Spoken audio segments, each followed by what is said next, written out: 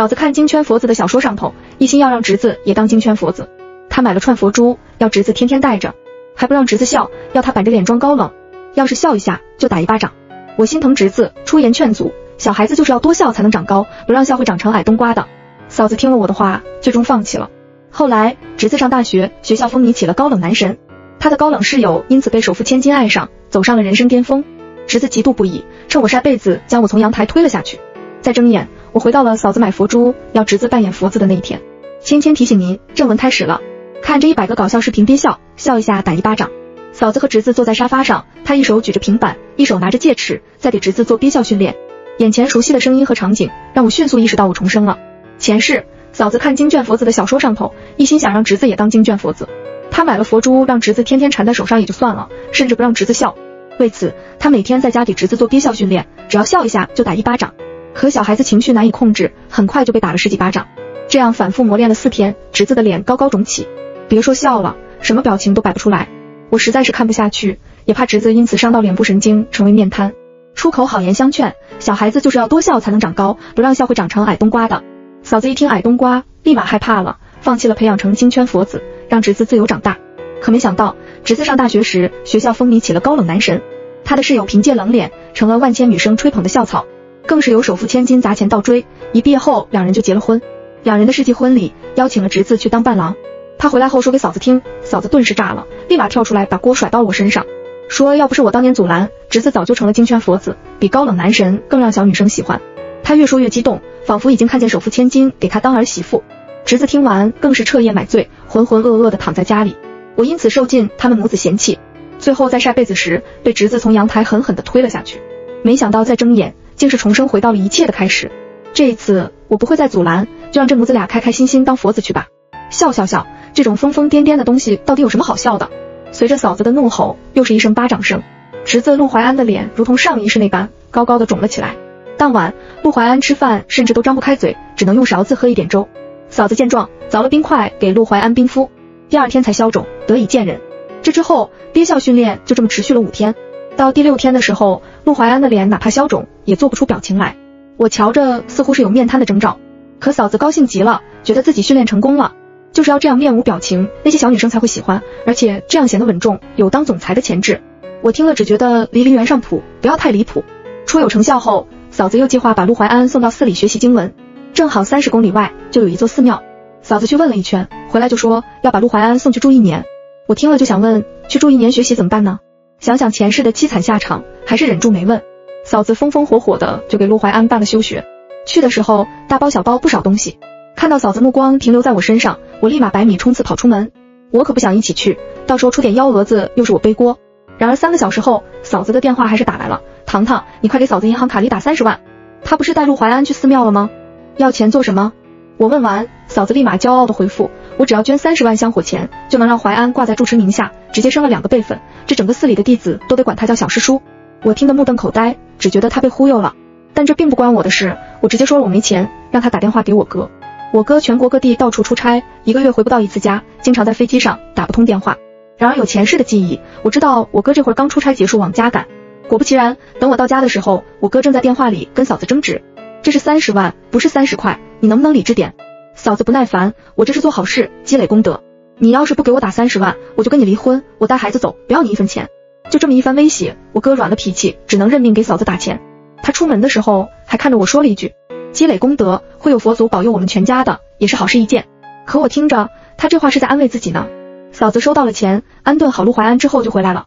我哥原本打算在家休息一段时间，这下一眨眼花出去三十万，又苦哈哈的出差跑业务去了。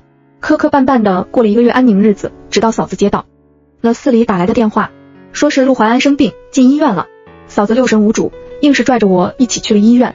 到了医院，送陆怀安来的那位僧人解释，原本只是发高烧，可没想到突然就开始歪嘴，我们怕出事，就立马送来医院了。听到歪嘴两个字，我内心咯噔一下。等见到医生后，果不其然说出了面瘫二字。嫂子却叫嚣道：“我儿子定是中邪了才会歪嘴，面瘫才不会。”医生好声好气的科普，给他解释面瘫的症状。嫂子全程就是我不听，我不信。医生没办法，只能提议让陆怀安住院观察。嫂子嘴上答应，可等陆怀安挂完点滴，立马办了出院手续，把人带回家了。定是我儿佛身出城，让那些邪祟生了忌惮。我看了看头顶的大太阳，差点没憋住笑。因为打了点滴，陆怀安回家就进了房间睡觉。我借口说公司有事，直接溜了。嫂子也跟着我出门，一路神神叨叨的，不知道是去请神还是买符纸去了。等我晚上回家，进门一开灯，发现嫂子正跪在沙发面前，我被吓得一个哆嗦，顺着嫂子的视线看去，只见客厅的电视机不见了，取而代之的是一尊佛像。听到我的动静，嫂子立马冲上来拽我，快来，我们要守三天三夜祈福，至亲之人的诚心可以帮助淮安速成佛身。到时候那些邪祟全都不值一提。我听得目瞪口呆，只能推脱，是不是得喊我哥回来祈福？我这也不算至亲之人。嫂子听了我的话，左右张望了一圈，这才小声地道：“你当然有用了，还需要童男童女的鲜血。”我掏了掏耳朵，差点以为自己听错了。淮安不是佛子吗？这怎么听起来像邪教？嫂子翻了个白眼：“你懂什么？这童男童女的鲜血都是至纯之物，自是能助淮安修得佛身。我确实不懂，我想我两辈子都懂不了。嫂子。”我交过男朋友，怕是帮不上淮安了。嫂子顿时骂骂咧咧：“你这个不知羞耻的东西！”我挨了一顿骂，成功推掉了献血。可嫂子还是不放过我，拉着我要我想办法帮她。我嘴上答应她想想办法，立马回房间收拾了东西溜了。就家里目前这情况，半夜起来上厕所都能被吓死，还是早点搬出去住吧。联系好中介看房后，我先去邻省闺蜜家安顿了下来，吃吃喝喝，一直玩到晚上十点才给嫂子打电话。对不起啊，嫂子，我这被派出去出差了，这点还在加班呢，实在是脱不开身帮你啊。说完，也不管电话那头暴跳如雷的嫂子，直接挂断了电话。这之后，嫂子带着礼物找了好几家亲戚，没有宗教信仰的只是觉得荒谬，然后拒绝他；有宗教信仰的当场把他赶了出去，扬言以后再也不来往。就这么花了一两天，嫂子一滴血也没有凑到。我以为他会因此放弃，回心转意，万万想不到，嫂子剑走偏锋，在街头伪造了献血车，遭人举报，直接把自己弄进警局了。从警方得知这个消息时，我听得目瞪口呆。非法采集血液可真有盼头，嫂子在电话哀嚎：“糖糖救命啊！你快来保释我！”淮安还在家里等着我呢。我安抚他：“嫂子，你别急，我马上给我哥打电话。”不行，你别给你哥打呀，你哥要上班的。我当做没听见，直接挂了电话。我哥要上班，难道我就不用吗？前世嫂子就是养成了遇事先给我打电话的习惯，大大小小的事情都让我替他奔走。我念着亲情，看着我哥不容易，这才处处忍受。这一世重来，我才不会惯着嫂子。他给我打电话，我就给我哥打电话，宁愿麻烦一点当电话转接员，也不瞎管闲事。然而我哥似乎正在当空中飞人，电话打了好几个也没打通。我编辑了短信发过去，就没再管了。等我哥看到消息，匆匆赶回去的时候，已经是次日了。陆怀安被警方送到了医院，得到了有效的治疗。据说当时情况很凶险，都送进抢救室了。我哥到的时候，陆怀安正好被抢救过来，后面留院调理，面瘫逐渐改善。虽还有后遗症，但至少不再歪嘴斜眼，瞧着是个正常人了。对此我的评价是，嫂子被抓也是件好事，不然凭借他的神神叨叨，陆怀安怕是活不下来。至于嫂子，因为第一个上车献血的就把他识破了，没有造成无法挽回的罪证，关着教育了七天，让我哥签了字，付了罚款就给放出来了。这都与我没有关系了。我四处奔波看房子，一个星期后才回家。进了家门，我发现客厅恢复成原先的模样，顿时松了一口气。嫂子见我回来，白眼都要翻到天上去了。一天天什么忙也帮不上，就知道在家吃闲饭。这是在点我这次不帮他呢。我没理会他的阴阳怪气，打算进房间收拾东西。然而房门一开，眼前的场景不由得令我倒抽一口冷气。房间正中间摆了一张红木长桌，桌上供奉着原本摆在客厅的金佛，佛像下方放着两个蒲团。陆怀安正捻着佛珠，双目紧闭的跪坐在上面。而原先我的床、衣柜、书桌全都不见了踪影，这是把我的房间爆改成了佛堂啊！那我的东西去哪里了？我找了一圈，最后在杂物间看到了被随意丢在地上、带着脚印的衣物。原先崭新的书也变得破破烂烂的躺在地上，就仿佛有人拿它们泄恨出气了。不用想也知道是谁干的。我忍着一口气，蹲下身将物品挑拣进行李箱。不等我收拾好，嫂子发了疯似的上前把东西踹开。这些都是家里的东西，没我的允许你没资格拿。说完，嫂子挑衅的又往上面踩了几脚。我忍着怒气，这是我的个人物品，怎么就成家里的了？嫂子没理，依旧硬气，就凭这是我家，在我家的就是我的东西。她撅着嘴，仿佛网开一面地道：“你签保证书，以后及时接我电话，我让你干什么你就干什么，我就把东西给你，允许你留在家里。”我沉默的看着嫂子，确认她没跟我开玩笑，直接头也不回的转身走了。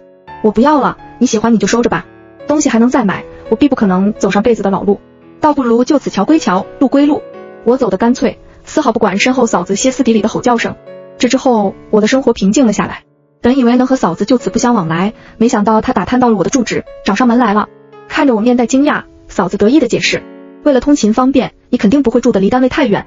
我在附近小区转了转，一下就找到了你。真不敢相信这逻辑缜密的推断能出自我这脑残嫂子，她的智商还真是忽高忽低。愣神间，嫂子硬是挤进了房门，在沙发上坐了下来。我没办法，只能询问她的来意。嫂子神神秘秘地翻出手机，给我看了几张图片。原来是嫂子又看了几本金圈佛子的小说，想要找我朋友给陆淮安纹个专属胎记，类似于莲花、海棠花等等。我听了都不知从何开始吐槽。嫂子，你记错了，我没有朋友会纹身。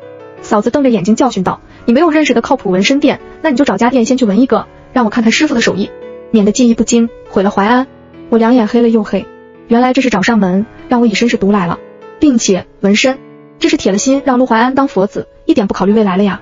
即便内心再无语，我面上一句话也不敢说。万一陆怀安脑抽了，觉得是因为我导致他不能考公，再次把我从阳台推下去呢？我这工作不允许纹身，嫂子您可以亲自替怀安试试啊。佛子都有胎记了，佛子妈怎么也得有一个。嫂子手上动作一顿，面露几分犹豫。可是我直接打断他，纹的不满意也能洗掉，嫂子你就放心吧。于是嫂子开始了她的纹身之旅，我家也成了她每日的打卡地。有时候吐槽技术不好纹的很疼，有时候是嫌弃审美不好纹的很丑。对于这些，我笑而不语。多说多错，这辈子我选择当个哑巴。费时一个月，嫂子终于给陆怀安挑选好了纹身师傅。莲花胎记成型的那天，嫂子激动的拍照发了书评打卡。我儿子天生就有莲花胎记，他就是当代天选佛子。这条书评迅速在网上爆火，嫂子的账号涨了十几万粉丝。于是嫂子更上头了，夜里给陆怀安念书，白日让陆怀安模仿。他将书中名场面一一拍照发了出去。然而先前网友是看热闹，这看的多了就烦了。其中便有一条热评，整天说这个小屁孩是佛子，搞得我看书代入不了一点。嫂子这才清醒过来，是啊，此时的陆怀安还是个小学生呢。经过网友的吐槽，嫂子终于决定把陆怀安送回学校上课了。可休学了两年，陆怀安直接与学校教学进度断绝了，老师教的他根本听不懂。月考结束，门门课都是个位数的成绩，这成绩吸引了教导主任的注意，毕竟在小学除了是傻的，没有一个学生只能考个位数。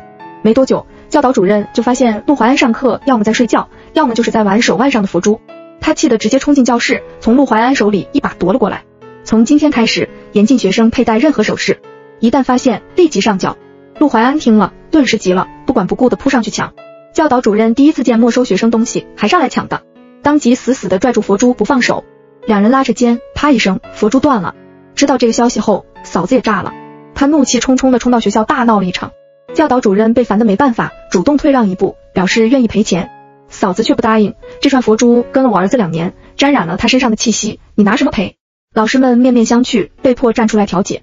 淮安妈妈，您消消气，我们可以再商量商量。嫂子没有丝毫退让的意思，她越发激动。配得上我儿子佛子身份的，最起码得是紫檀佛珠，最少也值十万，你倒是赔啊！话音落下，教导主任当场愣住了。别看老师光鲜亮丽，每个月真正拿到手的工资确实不多。他有家庭，有孩子要养，这下就让赔十万，他绝对不答应。说什么也不可能答应。嫂子见教导主任不吭声，更是嚣张的赖着不走。我什么时候拿到钱我再走，不给钱你们就还我儿子佛珠，还我儿子功德。原本学校是想大事化小，小事化了，可没想到嫂子越闹越过分，还有敲诈的嫌疑。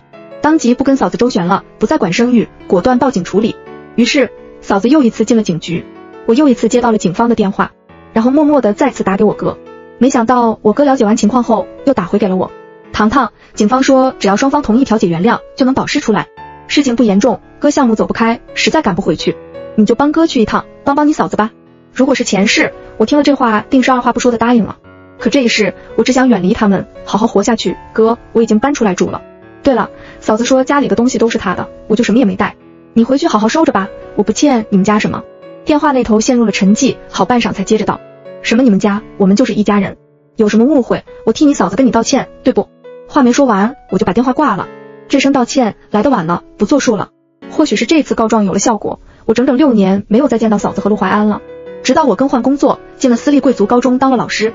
这一年，陆怀安正好初中毕业，他的成绩差到离谱，根本够不上高中录取分数线。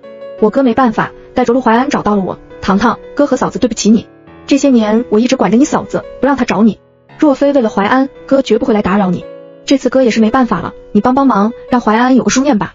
我哥叹口气，掏出烟抽了起来。前世我哥没有因为嫂子花出去近五十万，没有操心过陆怀安，没有管过家里一件事。他安心忙于工作，在各个城市出差跑业务。到了四十，还是三十岁的模样，未见衰老。可这时他看起来过得不太好，头发花白，明明才四十岁，却瞧着像六十高龄。我摇了摇头，我帮不上忙。我打听过，你们学校的任教老师每三年就会有一个入学名额。我哥掐了烟，从兜里拿出一张银行卡，这里有爸妈给你留下的二十万，只要你帮淮安，我就把这笔钱给你。我没想到，我哥还愿意把这笔钱吐出来。我爸妈思想古板，在他们的认知里，房子是要继承给儿子娶老婆的，女儿则是要嫁出去的，所以他们把房子给了我哥，给我存了一笔嫁妆，也就是这二十万。这钱就由我哥保管，说是等我出嫁了再给我。可前世今生，我都没有找对象，没有结婚，这钱也就一直在我哥手里。现在他却想用归还这笔钱换取我帮陆淮安上学，还真是一点也不肯吃亏。我故作为难，我刚入职，拿不到这个机会，除非我没把话说清楚。但我哥听懂了我的意思，要多少钱打点？二十万。我又补充了一句，毕竟是贵族学校。我哥爆了一句粗口，翻了翻口袋，又拿出了一张银行卡，这里有十万，哥手里只有这么多了。等淮安成功上学，剩下的钱我再跟你嫂子要。这下我没推辞，答应了下来。这钱我没拿去打点，毕竟是我编出来骗我哥的。新入职的教师一样享受入学名额。就这样，陆淮安用了我名下的入学资格，成功有学上了。我哥拿到录取通知书后，又赚了五万块过来。最后那五万被他卖惨搪塞掉了。开学后，陆淮安这个名字开始频繁的出现在教师办公室。他阴暗孤僻，成绩又差，没有一个任课老师喜欢他。班主任不愿放弃班里的每一个学生，便邀请了嫂子来学校交流谈话。嫂子到的时候，我正好没有课，在办公室写教案。班主任耐心道：“淮安妈妈，淮安在学校性子有些孤僻，阴沉着脸，也不爱笑。平日孩子在家，家长可以多开导开导他，让他多笑笑，多交交朋友。”嫂子听完，顿时不乐意了：“你懂什么？我儿子可是高冷的金圈佛子，生性就不爱笑。”班主任被噎住，抬了抬眼镜，继续劝道：“宗教信仰我们可以理解，但我认为孩子的心理健康更重要。”嫂子却是不依不饶：“你知道什么是金圈佛子吗？就算他心里阴暗偏执，未来也会有纯真善良的女生来救赎他。所以我这是在给我儿媳妇留发挥的空间。你不懂就少管闲事。”这一段话直接把班主任干蒙圈了。在请家长之前，班主任在脑海里想过很多措辞。可没想到遇见嫂子这个大奇葩，愣是一句话也用不上。嫂子越说越激动，视线扫过办公桌，伸手抽出一份班级名单。老师，你听说过帮扶吗？就是两两搭档，好学生帮助坏学生提升。班主任被这句话重新拉回了注意。这我倒是听说过，如果淮安愿意学的话，我是可以安排一个学生教教他。嫂子激动的一拍大腿，那好啊，我早就研究过了。他抖了抖名单，开始分析了起来。徐蕊初，成绩常年在班级前五，性格开朗活泼，家里开连锁超市，条件还算不错。孟静静，成绩总体中游，但是多才多艺，钢琴舞蹈都曾在全国获奖，我远远看过一眼，仪态气质特别好。还有这个梁倩，她，班主任实在听不下去了，一把将名单从嫂子手里抢了回来。你以为给你儿子选妃呢？神经病！嫂子不满的瞪着班主任，哎，你怎么能骂人呢？你信不信我去投诉举报你？班主任冷笑，你去啊，你去告啊，你猜我背后有没有人？只要你敢举报，我就能把你儿子弄出学校。退学两个字换回了嫂子的理智，他还指望陆怀安在学校遇见他的真命天女呢。退学肯定是万万不行的，只能灰溜溜的离开了。嫂子走后，班主任连忙给徐蕊初、孟初静、梁倩的家长打电话，提醒他们多注意女儿的安全。通知完了，班主任还是觉得不安全，找到我要我支开陆怀安，他要去给班里其他学生开会。我出了个主意，不如让班里男生都去体育室帮忙整理器材吧。就这样。在班主任的科普教育下，班里没有一个女同学敢跟陆淮安接触。前世的陆淮安是阳光开朗的少年，这一世的他留着长长的头发，含胸驼背，呆呆的站在角落里，成了万人嫌的模样。然而嫂子还是一如既往的要让陆淮安当金圈佛子。在他每日喋喋不休的教育下，陆淮安也开始把自己当成了小说男主。恰逢陆淮安生日那天，孟静静有一场舞蹈比赛。比赛结束后，他没有卸妆，带着舞台上的妆造回了教室上课。陆淮安却觉得孟静静是为了给他过生日特地化的妆，可一直等到放学，孟静静都没跟他说一句话。陆淮安觉得自己要主动出击，于是他拦住了准备回家的孟静静：“今天是我生日，你给我准备了什么生日礼物？”孟静静一头雾水：“我们又不熟，我为什么要给你准备生日礼物？”陆淮安闻言，脸色难看至极，他猛地拽住孟静静的手腕，将她抵在墙上，右手抬起她的下巴，逼迫她与自己直视：“你既然招惹了我，就得负责，没有准备礼物，就拿你自己当礼物吧。”孟静静被他的行为吓到了，开始拼命挣扎。陆怀安，你放开我！救命啊！来人，救命啊！陆怀安连忙去捂孟静静的嘴，却已经晚了。此时正值放学，求救声很快就引来了几位男同学。干什么呢？快放开他！血气方刚的少年见了眼前的情况，直接抡着拳头冲了上去。陆怀安为自保，不得不松手放开孟静静。孟静静趁机逃脱，朝外面跑去。双方迅速扭打在一起，几个男生的身材和体力都远远比陆淮安强。他没有还手之力，很快就被三个男生压制住，动弹不得。打斗声惊动了校园其余的人群，很多人都围观过来看热闹。孟静静跑出去后，直接报了警。这下陆怀安是真的完蛋了，因为强奸未遂且未成年，陆怀安被关了三天就被放出来了。学校以品德败坏为由，直接开除了陆怀安。这下陆怀安彻底没书读了。嫂子不服，跑到学校门口闹，明明是孟静静那个骚货勾引了我儿子，凭什么开除我儿子？我儿子可是金圈佛子，他绝不可能干出这种事。学校根本不想出面搭理他，直接报警处理。嫂子喜提三进局，彻底在当地公安局出了名。时间一晃而过，再次见到陆怀安是在一家咖啡厅。他已经成年了，穿着一身黑西装，头发打理的精致，手腕上缠着一串紫檀佛珠。脸色苍白，双目空空，坐着一动不动，乍一看还真有几分金圈佛子的派头。而我那嫂子化了妆，穿了一身旗袍，端庄的坐在那，也极具欺骗性。进店的客人都会打量他们两眼。就在我疑惑他们这么穿的目的时，咖啡厅的门被推开，一位长相明媚、身材火辣的女人走了进来，在嫂子面前坐下。嫂子上下扫视了一圈女人，颇为满意的点了点头。她语气高傲：“沈小姐，只要你能让我儿子对女人感兴趣，价钱随便你开。”我偷听到这句话，差点一口咖啡呛在嗓子眼。价钱随便开，真大的口气呀！被称为沈小姐的女人听了这话，直接伸出一只手，五千万，钱到位，什么都好说。嫂子根本没想到对方直接开口五千万，咽了咽口水，强撑着道：“先给你五十万定金，我要看到效果再付下一笔，不然你拿着五千万跑了怎么办？”沈小姐听了这话，看嫂子的眼神都不对了。五十万，你打发叫花子呢？嫂子被这话激起了脾气，她摆出一副不屑的表情。我劝你别给脸不要脸。你要是不同意，碾死你就跟碾死一只蚂蚁一样容易。给你三天时间，想清楚了给我电话。她说完，拽着陆怀安毫不犹豫的走了。沈小姐似乎被他最后那句话吓到了，将留下的手机号码好好收了起来。这场闹剧就这么结束了。我看得目瞪口呆，只觉得喝了杯咖啡，又看了一场狗血电影。一个月后，这天从上班开始，我就一直不顺，莫名有一种不好的预感。下班到家时，发现原本关得好好的房门，此刻大开着。我以为是遭了小偷，迅速打给了物业。跟着保安进家门一看，发现里面是我哥和嫂子两个人。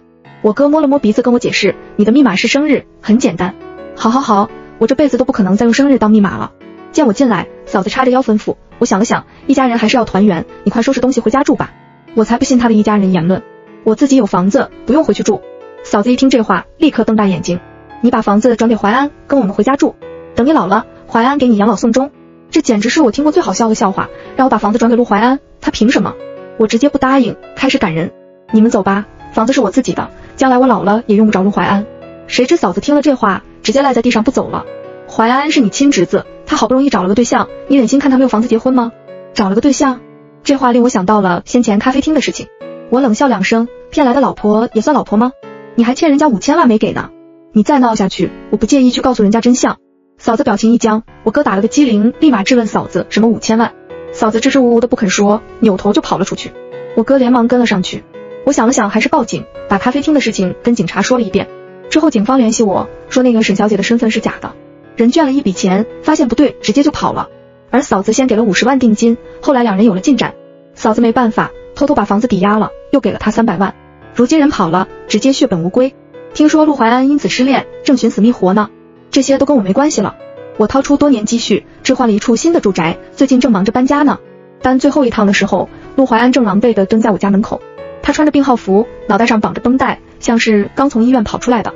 我远远看见他的身影，直接转身就走，但还是晚了。他看到了我，他拦住我，直直地冲我跪了下来。姑姑，我做了一个梦，梦里你处处帮着我，照顾我，我考上了一所名牌大学，未来一片光明。我内心咯噔一声，警惕地看向陆怀安。陆怀安似乎没有注意到我态度的变化，他红着眼继续道。梦里发生的一切，好像才是我的人生。我不知道现在发生了什么，家里好陌生，我我害怕我妈妈。他说着，竟是眼泪掉落了下来，看起来无比可怜。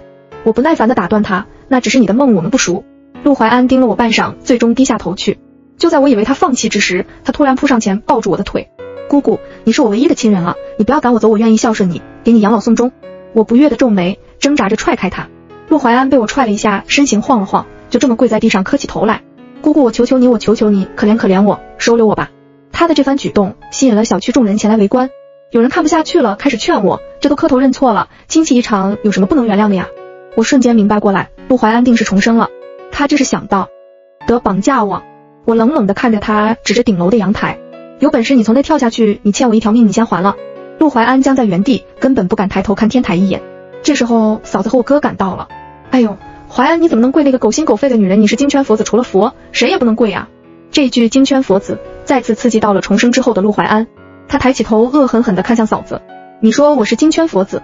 嫂子骄傲的点头。那自然，我从小培养你当金圈佛子，你就放心吧，你的好日子还在后头呢。